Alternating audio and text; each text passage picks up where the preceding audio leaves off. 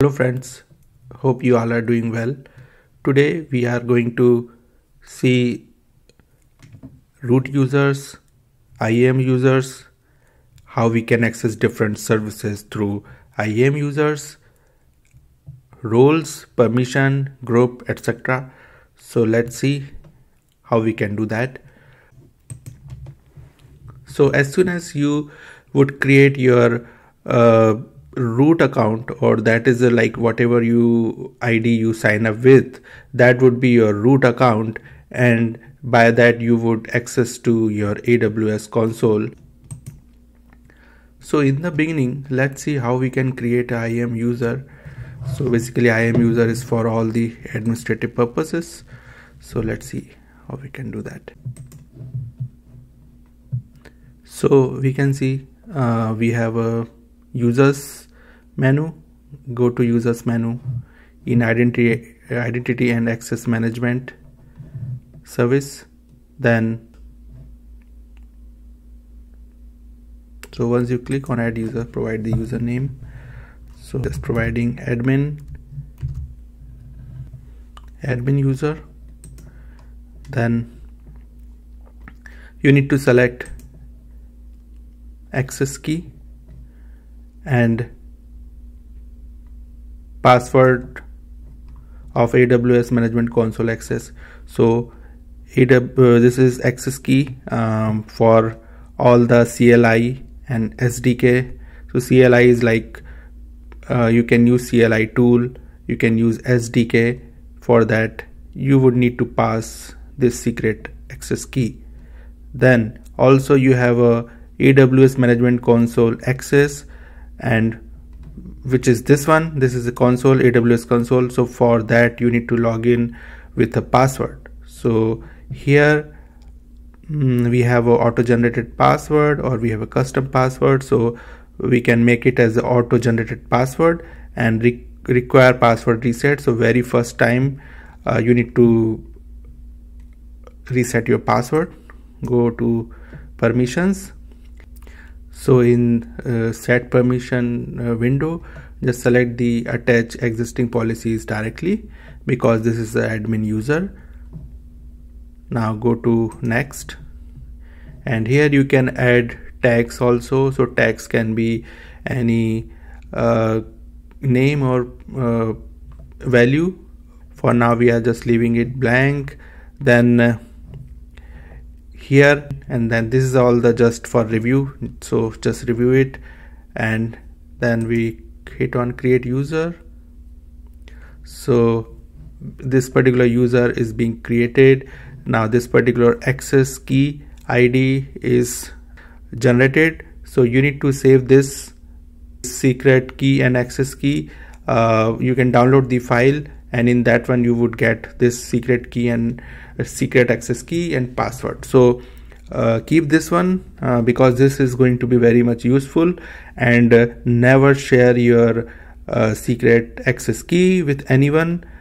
Um, keep that very much secret. So now I logged in with IAM user um, and change my password. So same thing you can uh, do at your end. One more thing which needs to be done is going to permission and then go to permission boundary. Inside the permission boundary set boundary. And in set boundary select administrator access. So this is going to give all the administrator access to our admin user which we have created. There are so many other permissions are there but but currently we only need this administrator access for this particular user.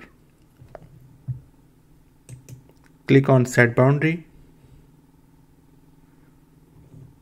In this way your user admin is now having proper administrator access. So these are the access it has on these many services so in this way we have added permissions to IAM user or admin user which we have created. Another concept is a group. So group is basically creation uh, group on the basis of logical separation. So kind of a particular user would be part of particular user group or group so we can create groups inside AWS so if we go in the left side we have a user group here. So we can create user groups. Currently there is no user group. We can create any user group. And similar way we have a roles. So there are roles there. So when there is involvement of more than one service is there then role would be needed. So for example if we have a ec2 service and we have another service is say container service or we have a kubernetes service like eks and eks is trying to uh, connect with the ec2 uh, then in, this scenario we should have roles created uh, on the eks and uh, in that way EKS can be connected with the EC2. So there are two steps after roles. One is assign role to AWS service and another is attach policies to role. So after creation of IAM user, I logged in with IAM user or admin user and uh, this is the dashboard for the IAM user. I can see here there are uh, so many regions are there. In these regions we have US East 1 to US West 1 then US West 2 these are known as different regions. In different regions we have different uh, AZs or known as availability zones. So for example in US West 1 we have three AZs um, US West 1A, US West 1B, US West 1C, like that three AZs we have. So like that in all the regions we have different AZs are there. So in this way we saw how we can create IAM user, what is a root user and uh, what are group, roles etc. To be precise, IAM user is a kind of admin user uh, root user is kind of a super user. We would never use root user much.